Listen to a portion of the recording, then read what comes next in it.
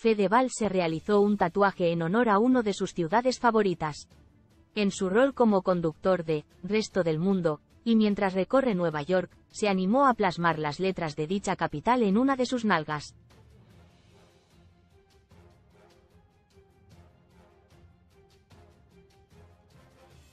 de personalidad potente, dispuesto a todo y sin límites, al llegar a Williamsburg, un barrio repleto de artes, galerías y música, Fede decidió entrar a un salón de tatuaje para hacer una de las cosas que más ama, tatuarse.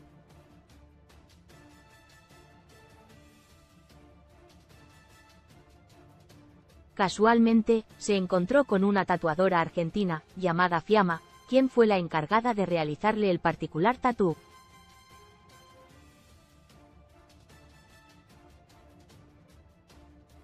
El tatu es muy íntimo, así que qué manera mejor de conectar que entregándole la piel al artista, explicó la artista, antes de comenzar con el diseño y Fedeval respondió, yo siempre digo lo mismo, HACE con acento agudo lo que quieras.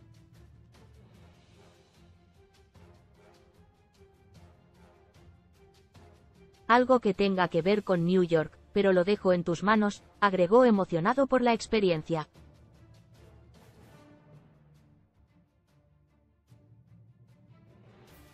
Finalmente, al conductor le tocó bajarse los pantalones y expresó, ustedes saben cómo soy y me tocó pelar adelante de todos.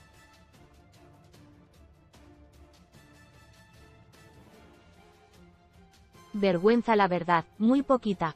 Ni me miraba la gente. Estaba cada uno en la suya, como tiene que ser, para después mostrar el tatuaje, las siglas de Nueva York en la cola.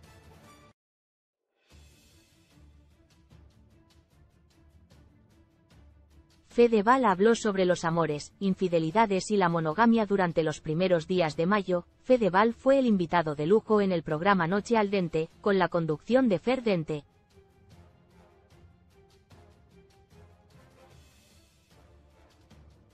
En la velada, el actor se sometió a un ping-pong de preguntas incómodas y picantes, en donde habló de todo, desde su polémica separación con Sofía Aldrey, hasta revelar que no cree en la monogamia.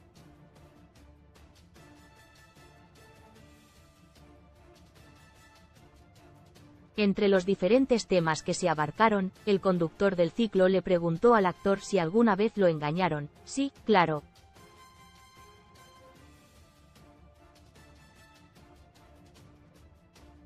Pero cómo no, además, Val aseguró que nunca se trata de una venganza y reveló que ha llorado por amor. Por supuesto que no, pero he llorado por amor.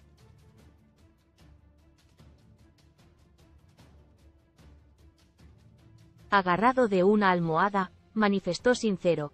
Finalmente, Fedeval dio a conocer su pensamiento sobre las relaciones y la monogamia. A raíz de todo esto, muchos amigos íntimos me han blanqueando que con sus parejas esto lo han hablado.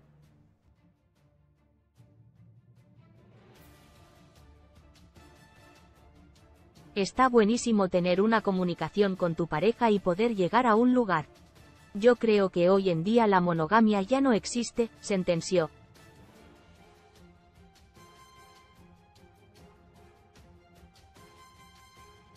DM